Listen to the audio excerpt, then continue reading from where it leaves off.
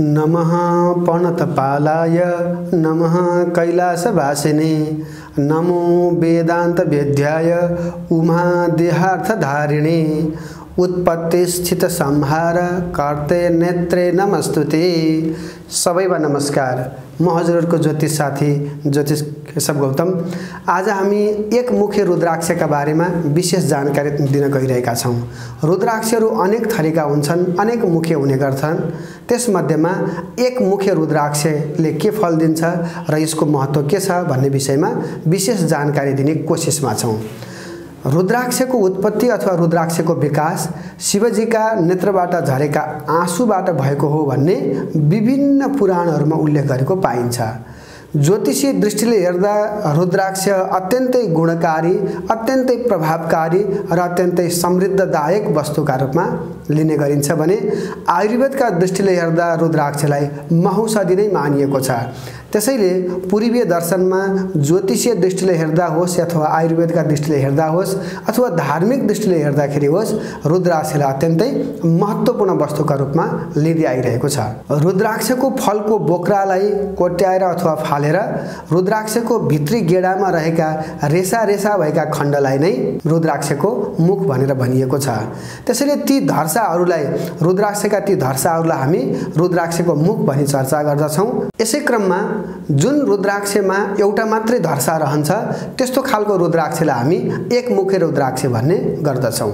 ज्योतिषीय दृष्टिले अथवा धार्मिक दृष्टिले हेर्दा एक मुखे रुद्राक्षको अत्यन्तै बढी महत्त्वपूर्ण रहेको छ अथवा धेरै महत्त्व रहेको छ। सौर्य परिवारमा सूर्य ग्रह बिचमा रहन्छन् अन्य ग्रहहरू सूर्यका वरिपरि घुमिरहेका हुन्छन्।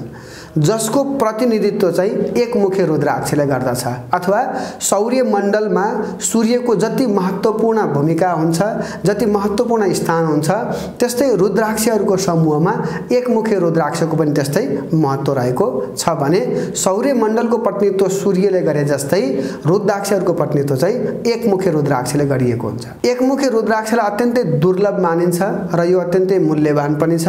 एकमुखे रुद्राक्ष अत्यन्तै गुणकारी अत्यन्तै शुभ फलदायक मानिन्छ।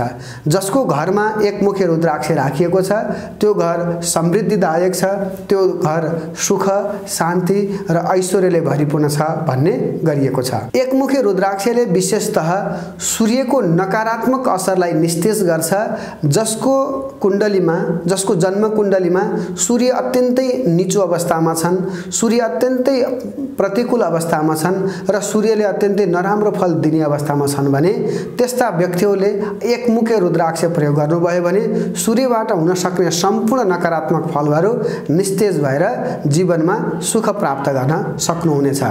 त्यसैले सूर्यलाई बलशाली बनाउनका लागि पनि एकमुखे रुद्राक्षको प्रयोग गर्ने गरिन्छ। जसको दाहिने आँखामा समस्या छ अथवा आँखासँग सम्बन्धित विकार छ जसको टाउको नियमित दुखिरहन्छ टाउकोसँग सम्बन्धित विकार छ थोरै खाना खाँदाखेरि पनि पेटमा विकार उत्पन्न हुन्छ अम्लिएपन बढेर गएको छ।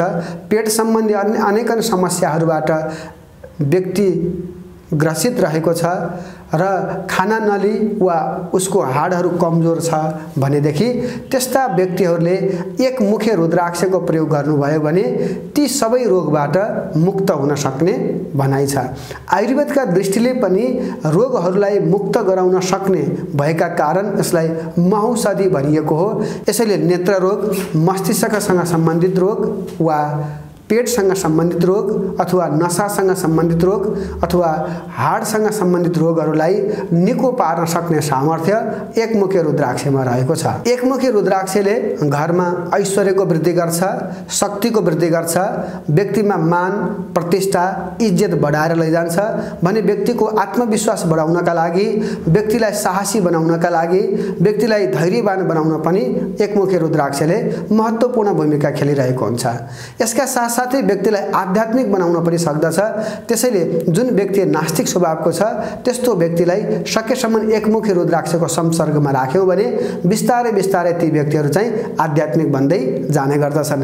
र एकमुखी रुद्राक्षले व्यक्तिहरूलाई विशेष गरी सचेतता बनाउँछ र धार्मिक मात्रै होइन आर्थिक सामाजिक र अन्य क्षेत्रहरूमा पनि ती व्यक्तिहरू सचेत भएर काम गर्न सक्ने सामर्थ्यता एकमुखे रुद्राक्षले प्रदान गर्दछ।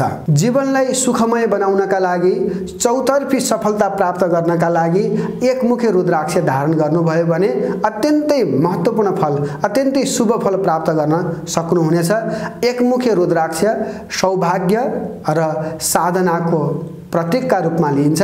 त्यसैले जसले साधना गर्न चाहनुहुन्छ जसले ईश्वर स्तुतिको कामना गर्न चाहनुहुन्छ ती व्यक्तिहरूले पनि एकमुखे रुद्राक्षको प्रयोग गर्न सक्नुहुनेछ। यसरी एकमुखे रुद्राक्षको प्रयोग गरेर आफ्नो जीवनलाई ऐश्वर्यशाली बनाऊ र नक्कले रुद्राक्षबाट बचाउँ। धन्यवाद।